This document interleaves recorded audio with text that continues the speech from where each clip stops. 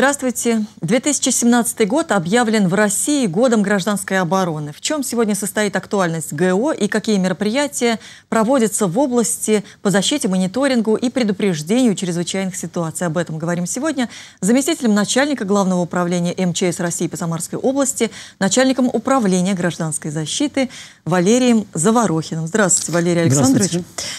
Ну, так как 2017 объявлен годом МЧС в России по гражданской обороне. Как это отразится на Самарской области? Какие мероприятия будут проведены? И что это значит, вот год гражданской обороны? Ну, прежде всего, действительно, в системе МЧС России год объявлен годом гражданской обороны.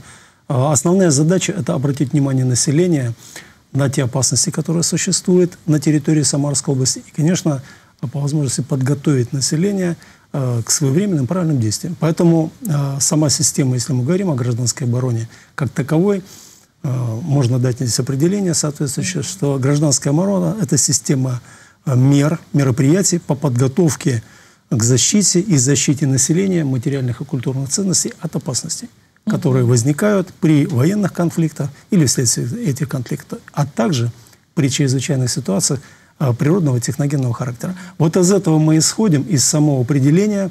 Оно у нас дано а, в 28-м федеральном законе о гражданской обороне. И, естественно, все задачи, которые стоят по году гражданской обороны, они прежде всего значит, а, изложены в этом документе, который я сказал. Понятно. Ну, задачи такие обширные, здесь и военные, и техногенные. А какой у вас арсенал, какой базой вы обладаете для того, чтобы противостоять вот таким угрозам? Ну, я скажу, что вот смотрите, мы все-таки территориальный орган субъекта, -huh. который занимается организацией мероприятий, в том числе по гражданской обороне. У нас, если мы говорим о самой структуре гражданской обороны, мы говорим об этом, то руководителем гражданской обороны на территории Самарской области губернатор.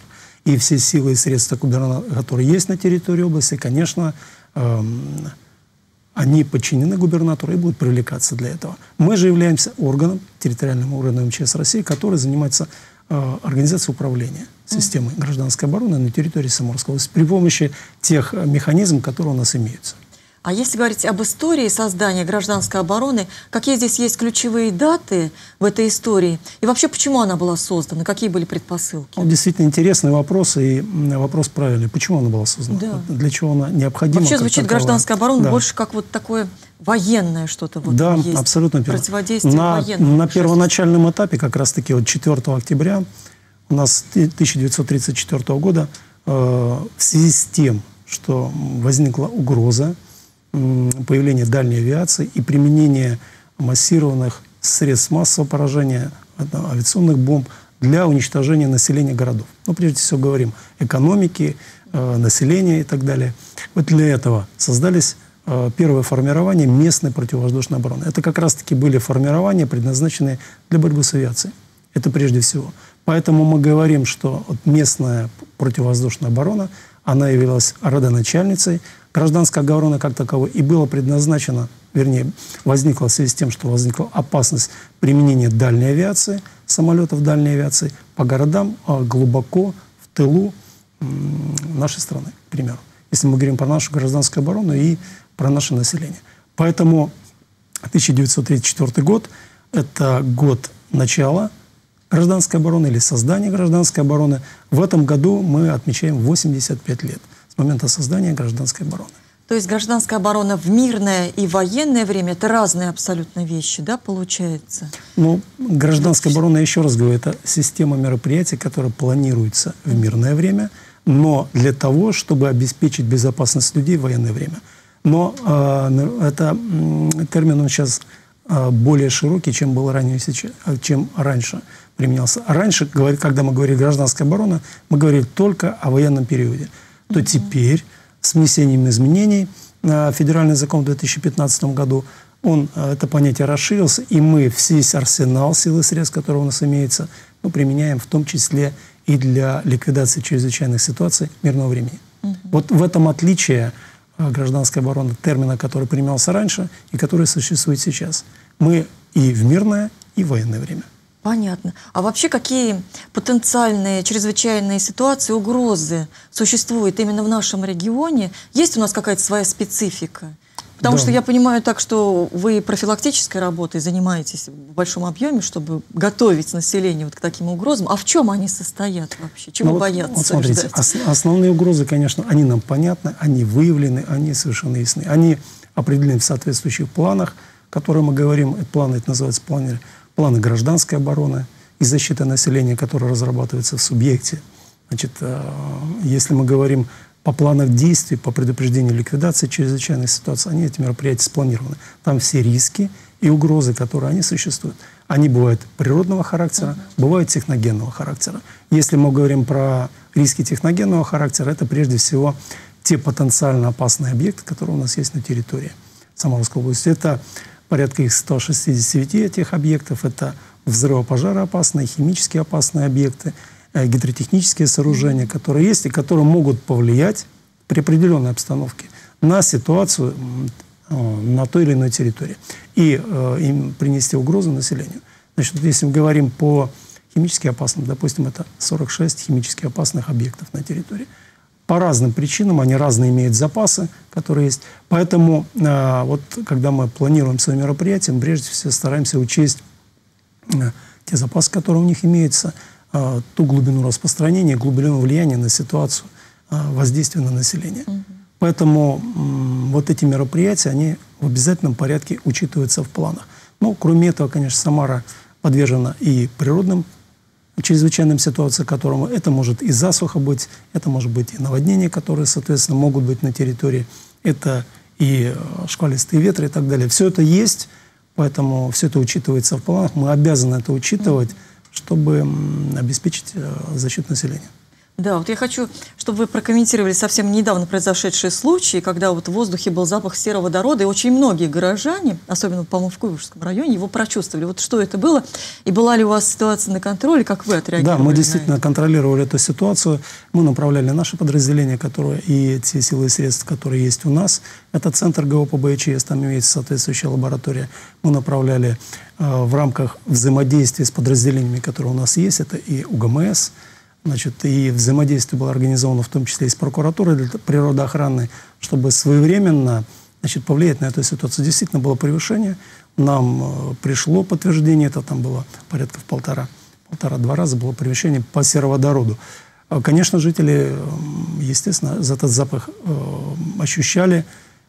Большого влияния, это, конечно, не было. Это связано было еще с чем связано? С тем, что состояние атмосферы. Mm-hmm. То есть, когда у нас э, направление, допустим, движения воздуха вдоль Волги, скажем так, э, накопление вредных веществ в атмосфере не наблюдается. Как только ситуация связана либо с каким-то превышением, либо с накоплением э, вредных веществ в атмосфере, вот такая ситуация возникает, к сожалению. Mm-hmm. К сожалению, мы ее фиксируем и стараемся принимать необходимые меры. Да. А, а как вести себя населению, когда вот действительно грозит чрезвычайная ситуация? Нас приучают гудкам каким-то, вот, которые в определенное время слышатся, и мы должны как-то реагировать. Но мало кто, ну, послушает кто-то вот гудок этот слышит, а дальше даже не знает, куда идти, что делать, что смотреть, где информацию получать. Может, действительно что-то случилось, это не профилактика. Вот что, что нужно знать населению в избежании как, каких-то опасностей? Да, действительно, для этого существует система оповещения на территории Самарской области – Э, конечно, вы правильно сказали, вот эти гудки, как называем, или сигналы гражданской обороны, а тот сигнал, который вы назвали сейчас, это сигнал внимания всем. Mm. Это самый первый, самый важный сигнал, на который должно обращать внимание население. Это и сирены, которые у нас стоят на территории города, это может быть э, гудки э, теплоходов, там, все, что у нас есть для подачи сигнала. Это может быть и иные сигналы, которые есть тоже у нас. Значит, основная цель для чего? Для того, чтобы привлечь население, включить радиоприемники и включить э, значит, телевизор. Угу. Потому что как только прошел сигнал внимания всем, внимание населения обращено, после этого идет информация. В обязательном порядке информация будет э, доводиться по всем имеющимся каналам связи. Вот там доводится, что необходимо делать населению в той или иной ситуации, как действовать, в каком направлении безопасно значит, уходить, если там это связано с направлением, с выбросом каких-то веществ, uh-huh. химически опасных и так далее. Вот э, основная задача э, довести э, или, скажем, научить население о том, что сигналы имеются, и по этим сигналам нужно правильно и грамотно действовать. Вот для этого для этого, конечно, существует система подготовки в области гражданской обороны. И основная задача, которой занимается ГО, это как раз-таки одной из задач гражданской обороны – подготовка населения. Да. Вот как ни странно, да, мы можем говорить про всех иные мероприятия, там, практические и так угу. далее, но подготовка – это основа. А как сегодня выстроена вот эта подготовка? Она начинается, наверное, с образовательных учреждений или с садиков, или с чего вообще? Ну, на садичном уровне, конечно, мы там э, Это, пытаемся ну, да. азы как бы дать, но э, в системах государственной подготовки на уровне садика ну, мы не начинаем как бы. Мы считаем, что у нас система на территории Самарской области создана. Что она себя включает? Но прежде всего мы должны подготовить должностных лиц и специалистов. Те, которые конкретно занимаются mm-hmm. вопросами организации и ведения гражданской обороны. Значит, для этого у нас существует учебно-методический центр по гражданской обороне и чрезвычайным ситуациям. Вот там мы э, готовим наших должностных лиц и специалистов субъекта. Значит, это первый как бы уровень, если мы говорим субъект. Если мы говорим о специалистах, которые приходят к нам, ну, скажем, из высших учебных заведений, то это Академия гражданской защиты МЧС России. Там мы готовим своих специалистов в области защиты населения территории или Академия государственной противопожарной службы. Там уже по направлению деятельности здесь очень большой пласт – это э, тушение пожаров, профилактика пожаров. Поэтому это люди с академическим образованием, которые приходят значит, в наши структуры для того, чтобы правильно, грамотно работать. Значит, субъектовый уровень, я уже сказал, это учебно-методический центр по, по гражданской обороне и чрезвычайным ситуациям. Кроме этого, у нас есть э, так называемые э, города, отнесенные группам по гражданской обороне, важные с точки зрения экономической, военной. Значит, вот на территории... Но мы не входим. На, да, конечно. Самара да, в том да, числе, конечно. да, очень важный город э, с большим населением, с большим потенциалом. Значит, в этих городах у нас имеются курсы гражданской обороны. Значит, на курсах гражданской обороны мы также готовим э, должностных лиц специалистов, только класса может быть э, ниже или же для этих городов, либо же для тех муниципальных районов, в которых нет курса. Потому что законодательство определяет о том, что во всех муниципалитетах такие курсы должны быть созданы. Но экономически пока не готовы эти муниципальные образования к созданию таких учебных заведений. А, поэтому не проходят обучение там, а, выездным методом или иным методом на существующих уже, сложившихся в течение многих лет курсах гражданской обороны. Можно проходить обучение также и в других учебных заведениях, которые имеют лицензию на ведение, хотя на ведение этой деятельности. Это было так раньше.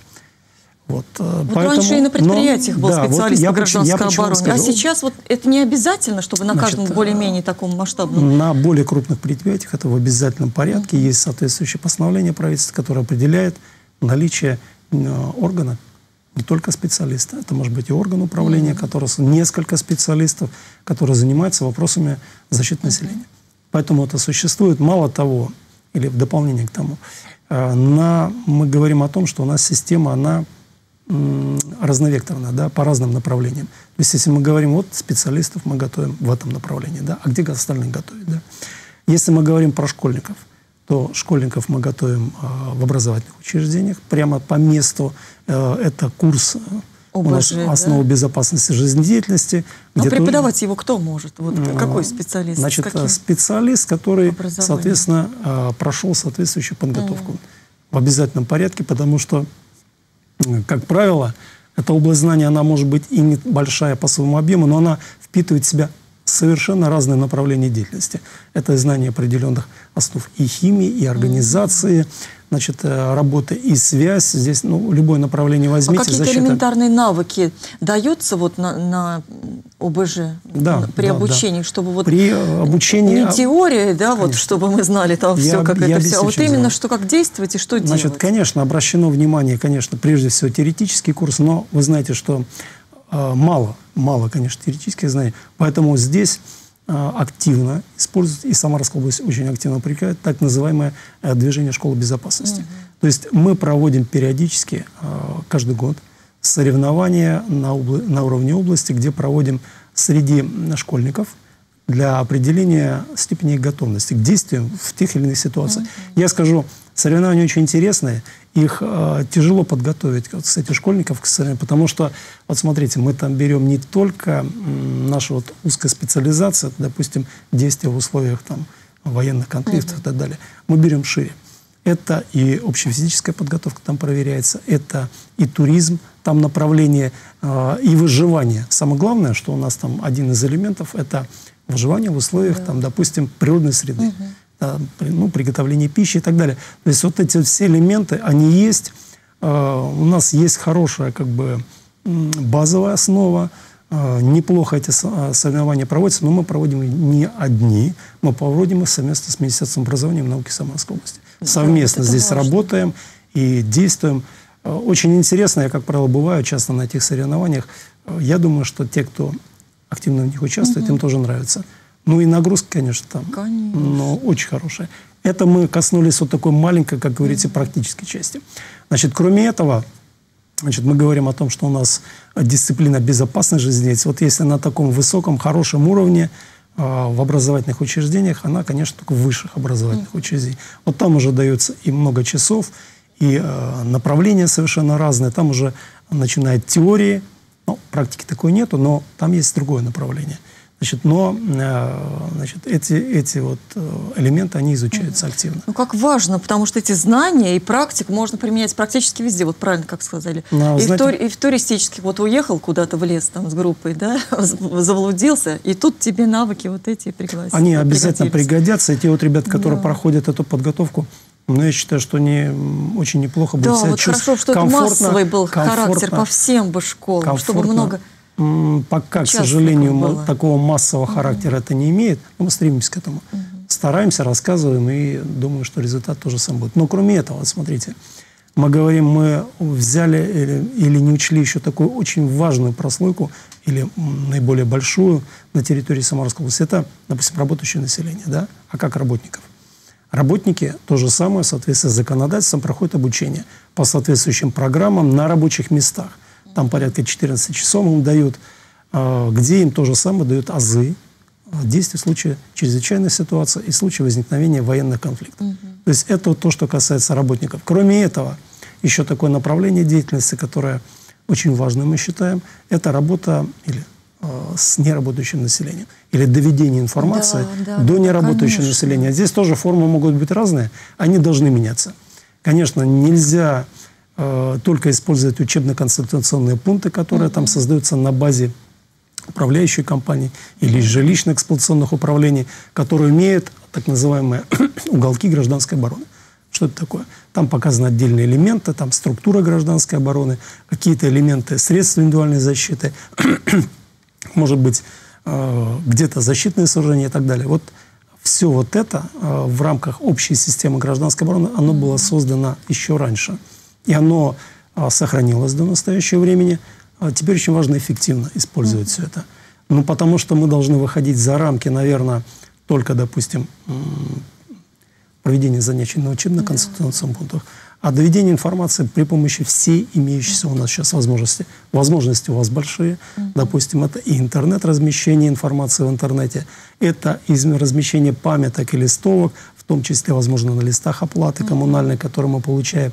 То есть те знания, которые мы можем дать людям напрямую, в руки сразу, это нужно давать, да. и мы это будем активно использовать. Вот. вот если взять, извините, вот такую элементарную ситуацию, ну вот объявлена чрезвычайная ситуация, есть, вы сказали, не работающие, есть немобильные граждане. Да. Допустим, вот жена, муж у нее лежачий больной, животное, да, вот это женщина просто несчастная может растеряться, она не знает, что делать ни с животным, ну, не, не с мужем, конечно, в первую очередь.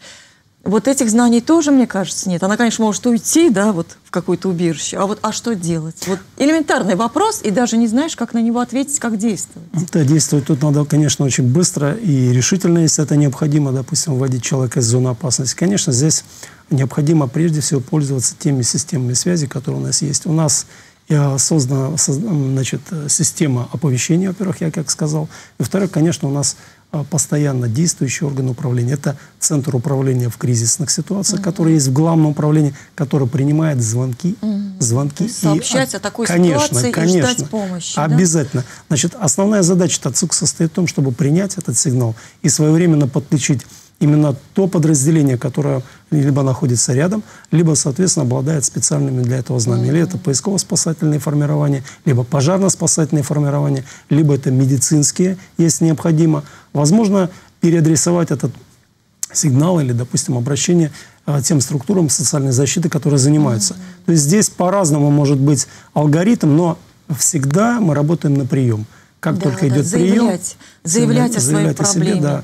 Ну и мы активно получаем. Вот э, я скажу так, что жители Самарской области активно пользуются э, теми телефонами, которые есть у нас, и обращаются и постоянно, либо когда в зимний период особенно, это когда потеряются, то есть потеряли ориентирование, да, там плохая погода, э, плохая видимость, да, допустим, или заблудились в лесу, активно э, идет сообщение об этом, и там уже идет подключение людей, чтобы их быстренько найти и не допустить, э, чтобы люди да, попали вот проблема в только что вот в лесу, допустим, сотовая связь, да, она же не всегда да. может действовать. Есть такое вот... дело. Значит, ну тут обращаются родственники, потом организуют mm. приблизительно район нахождения, где они находятся, и там уже привлекаем наше пожарно-спасательное подразделение и всех необходимых. Да. Полицию, конечно, потому что это тоже связано с этим. Да. Поэтому взаимодействие в этом плане, я считаю, что оно достаточно плотно организовано, и система, она, в принципе, работает, если мы говорим вот в этом направлении. Вот раньше, знаете, как говорили, что если что-то случится, то нужно накрываться белой простыней и передвигаться, ой, это, конечно, не смешно, в сторону кладбища. Вот мне хотелось бы узнать, вот, э, что изменилось с тех пор, и вот у нас как-то система убежища разработана, где они, вот если что-то случится, куда людям нужно направляться. Да-да, все правильно. Вот именно я не зря об этом сказал. Очень важный вопрос работы здесь органов местного самоуправления, потому что они э, создают значит, необходимую инфраструктуру для того, чтобы укрывать э, находящихся на территории муниципалитета людей – и самое-то главное – это доведение информации. Вот почему мы говорим о том, что жители, допустим, близлежащих домов или, допустим, или гражданин, но должен прежде всего информацию, где получить о наличии находящегося рядом убежища. Это э, в жилищной организации. Угу. Вот именно вот эта система, о которой я говорил, учебно-консультационного пункта, она дол должна дать информацию о том, где находится вот то безопасное место, которое можно спрятаться. Мы сейчас немножко, я скажу так, а в планах, вот те, которые мы разрабатываем, мы говорим о том, что вероятность возникновения военного конфликта на территории, она снижена. То есть как такового.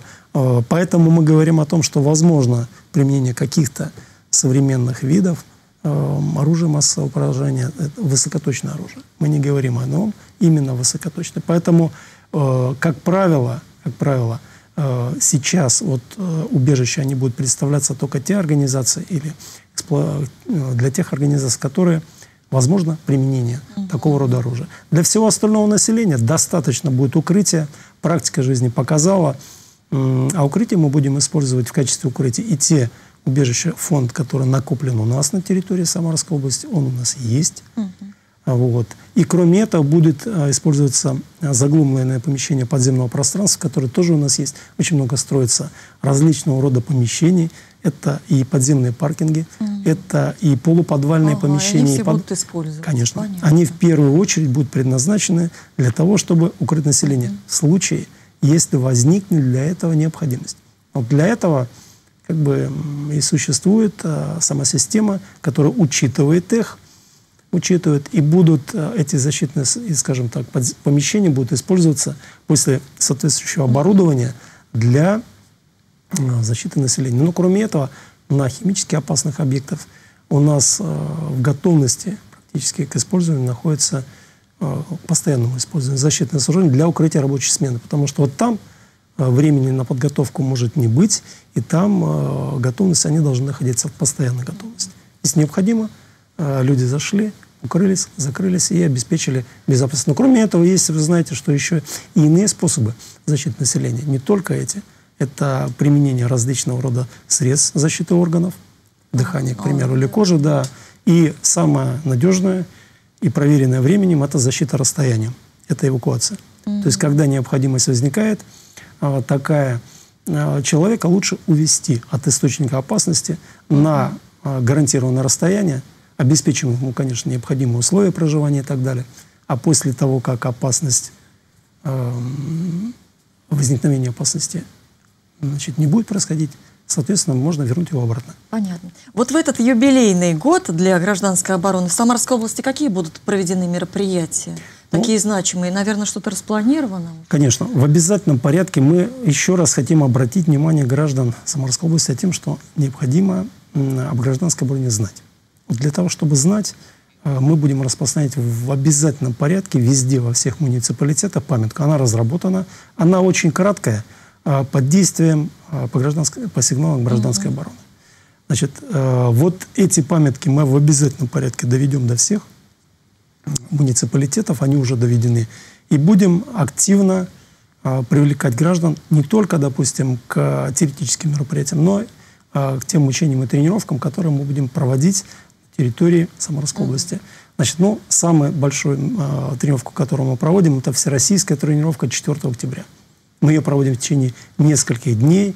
МЧС России активно привлекает все субъекты. И вот там мы, конечно, в рамках вот этой тренировки привлекаем все муниципалитеты и доводим информацию. Там, конечно, мы показ, будем организовывать и показ нашей техники, которая имеется у нас, и показ тех формирований, которые создаются, угу. нештатных формирований по обеспечению выполнения мероприятий гражданской обороны, иных формирований, которые могут создаваться в рамках этой тренировки. Значит, кроме этого, вот э, Всемирный день гражданской обороны, он 1 марта будет отмечаться, то же самое в рамках этого.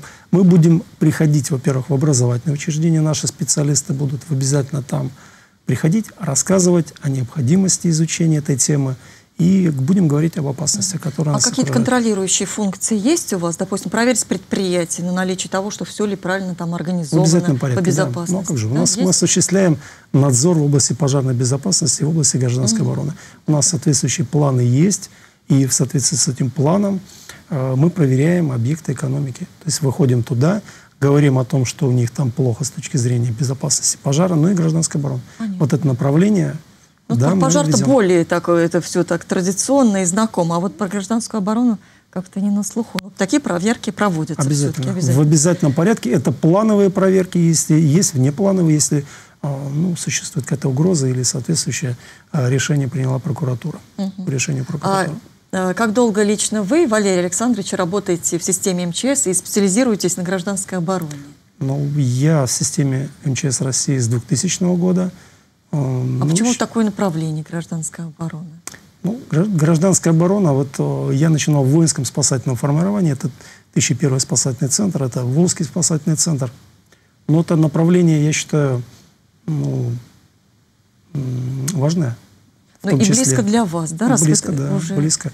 Значит, э, мы начинали э, как раз-таки в спасательных формированиях, там у нас соответствующее подразделение, инфраструктура была, которая как раз-таки для проведения мероприятий, по спасению людей на территории Самарской области. Волжский спасательный центр, он применялся или предназначен был для применения на территории, в том числе и Самарской области. А вы в таких операциях тоже участвовали? Значит, э, в таких операциях, вот те, которые э, в реальном масштабе временной территории э, не участвовал, потому что в 2003 я перешел в территориальный орган, но принимал участие в гуманитарных операциях по доставке гуманитарных грузов за пределы Российской Федерации. Да. И наша программа практически уже заканчивается. Вот самое главное в гражданской обороне это что? Как вам кажется? Что это? Значит, само, самое главное для гражданской обороны это обеспечить безопасность людей. Чтобы их обеспечить безопасность, их нужно подготовить. Чтобы подготовить, они очень четко должны знать сигнал гражданской обороны. Внимание всем, радиационная опасность, химическая опасность, Значит, и э, по этим сигналам, соответственно, может быть существенно катастрофическое затопление, соответственно, и по этим сигналам очень грамотно и четко действовать. Вот э, если человек будет знать, как ему вести себя в той или иной ситуации, он не растеряется сам, он поможет соседям, и таким образом мы сможем защитить людей. Только в этом случае, я считаю, те знания, которые мы получаем – они могут быть реализованы на практике. Да, вот эта связь как хорошо, потому что я как раз хотела спросить, чего больше теории или практики, а у вас вы, связали, ну, важно и то, и это. И теория, Для нас это очень важно, э, потому что территория Самарской области, она всегда будет местом нахождения разных объектов да. и разных опасностей, поэтому э, граждане должны очень хорошо и четко знать это. Для этого... Знать, что делать. Спасибо большое за да. то, что пришли, доставили такую важную информацию для нас, для всех. Спасибо еще раз. Спасибо вам за внимание. Всего хорошего. До свидания.